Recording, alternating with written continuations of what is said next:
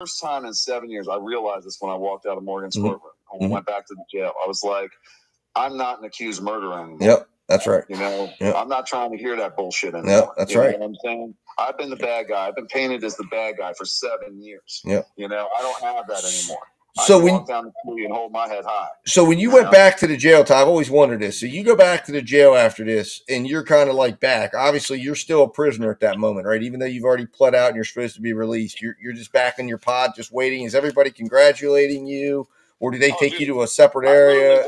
Walked, into the dormitory right man because Uh-huh. I'm in max security. and Everybody's Right. behind sealed doors, Right, and it was during lockdown when I got when I got back from Marathon. Right. right, right. So I walk in, I throw my hands up in the air, and I'm like, I'm yelling "Libertad," which is which is liberty.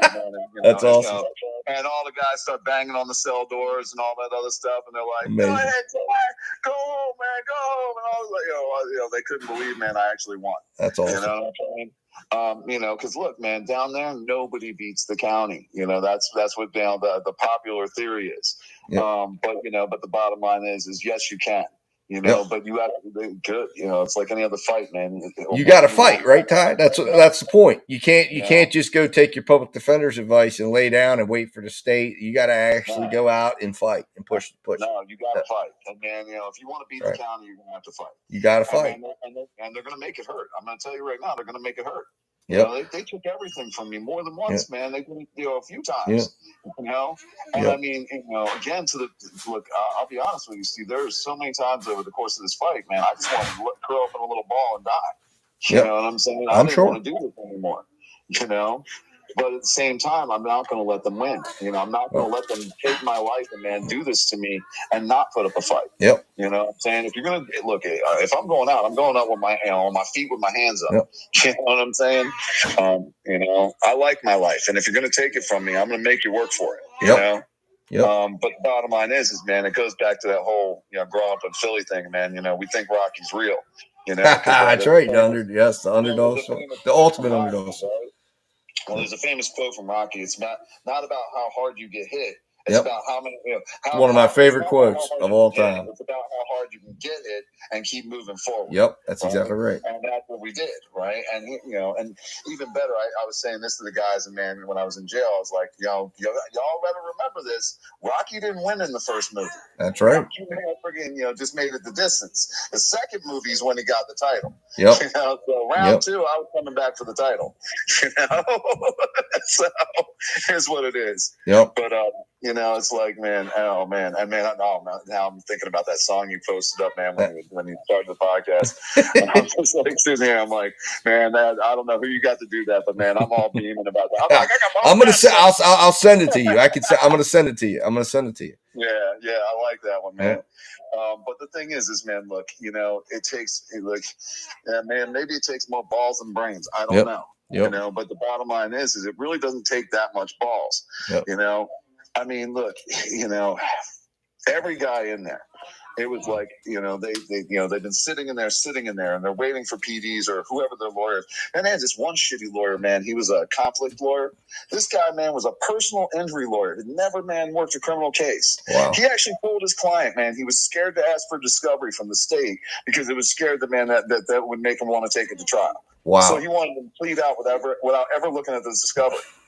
Oh Are- my are you god.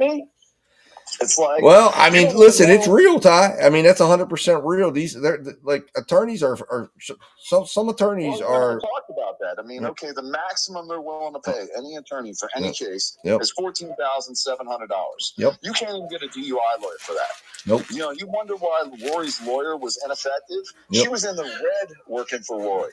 Right? Five years, man, working on his case for fourteen thousand seven hundred dollars. She was in the red within the first two years. Yep.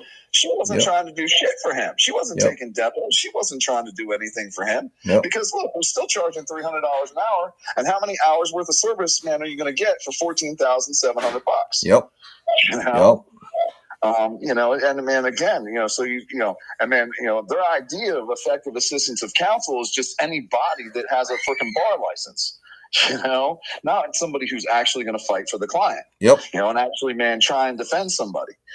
You know, now your best chance of defense is, man, you know, take matters in your own hands. Yep. You know, Um, and I, you know, I, I talked quite a few, you know, inmates into going pro se. Um, you know, and all of them ended up doing better. There was a guy Blanton. Um, I think we talked about him. He was another. Okay, one time, man, you talk about setting a record. Um, in the jail, we had three guys who were all pro se facing murder, right? In that same in that same, that same dorm, right? That same dorm that I was in. Yep. Right. Because I talked two of the other guys into doing it, right? Um, but you know, Blanton, when he went pro se, he'd been sitting there on a murder case from 2012, right? And even and they arrested him in 2020. So he'd been sitting there for four years, and his PD's telling him he's going to go to prison. We're, you know, we're going to go to trial. You're going to lose a trial, and you're going to go to prison. That's what his PD's telling him, right?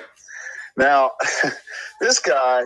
So okay, and I, you know, I looked at his case, and the very first thing that jumped out is, man, okay, wait a second. His judge used to be the prosecutor back in 2012. You know, okay, so this judge who's been working on his case for four years has a conflict of interest like you wouldn't believe. You know what I'm saying? Because man, I mean, again, he used to be the prosecutor. You're right. Now you're the judge. You know, but anyway, so man, he goes ahead and gets the judge disqualified off off his case.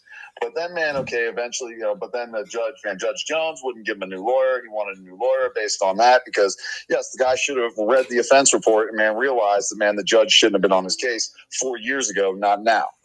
anyway, point being is um, he ends up going pro se. Right now, he